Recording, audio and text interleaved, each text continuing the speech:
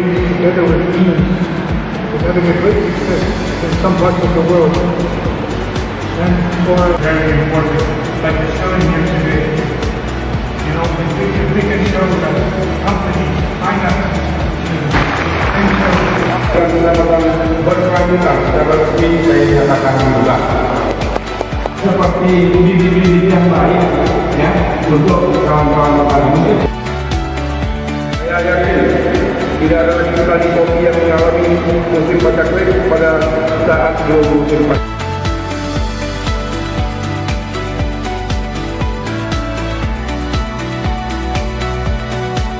Tujuannya meningkatkan perekonomian dan mengurangi kemiskinan. Indikatornya pertumbuhan ekonomi, persentase penduduk miskin, serta tingkat pengeluaran terbuka. Dia belajar mengajari petani uh, bagaimana merawat kopi yang benar itu. Karena masih ada gap misalnya uh, produktivitas dari kopi yang dirawat petani itu masih di bawah dari tingkat petani kopi ke depan tidak hanya mengandalkan hasil dari produksi kopinya, tetapi ada peluang lain di dalam kebun kopinya itu yang bisa ditingkatkan dengan cara diversifikasi tanaman. Dibutuhkan waktu 4 sampai 5 tahun.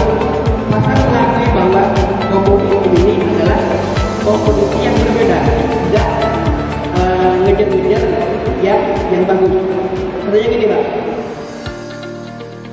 Sangat berharap kegiatan ini dilanjutkan berlanjut ke petaninya langsung ke petani langsung. Kalau teman nanti ada Uh, harapannya kegiatan ini berlanjut dan sampai hanya ke masa milenial. apakah memungkinkan apabila kita memiliki uh, program yang sama, kemudian kita bersinergi bahwa untuk uh, menjangkau petani-petani.